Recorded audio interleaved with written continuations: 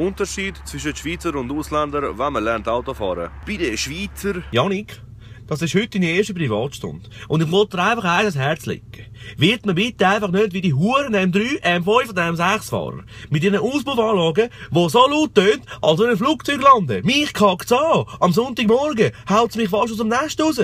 Wirklich. Fast aus dem Nest? Nein, Papi, das mache ich sicher nicht. Unser Subaru tönt nicht einmal so laut. Ja, das ist auch gut so. Es ist auch kein BMW. Es ist ein stinknormaler Subaru. Und wenn es steht 50, dann wollte ich, dass ich daran halte und nicht irgendwie mit 80 umeinander fräsisch. Weil weisst, es ist gefährlich. Ja, aber weisst, Papi, mein Kollege, der Bledin, der hat auch ein BMW. Und all meine anderen Kollegen fahren auch ein BMW oder ein Audi oder ein Mercedes. Und ich bin der Einzige, der einen Subaru fährt. Mich scheisst das eigentlich an. Ja, und dann? Und dann, Jorik, was? Willst du auch so einer werden? Wir sind hier in der Schweiz, wir halten uns an die Regeln. Passt da? Ja, ist okay. Hoffe ich auch. Weil mir kommt wirklich zum Kotzen. Da kommt's mir, da oben. Und bei den Ausländern?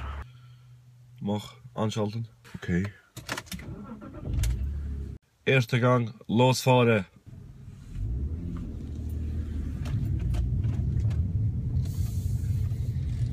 Langsam, langsam, langsam.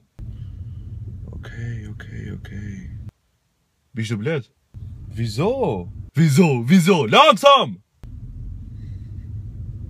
Pass auf, pass auf. Oh, pa, pass auf, da ist Yves Schade unten. Du Arschloch!